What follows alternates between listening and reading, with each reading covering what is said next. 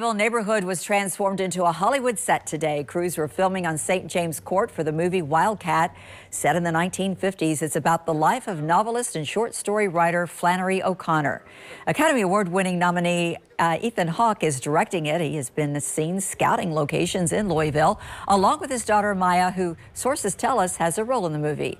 They'll be filming through the middle of next month, and you could be part of it. Just click on this story on the free WLKY mobile app to find out how you could be an extra in the movie.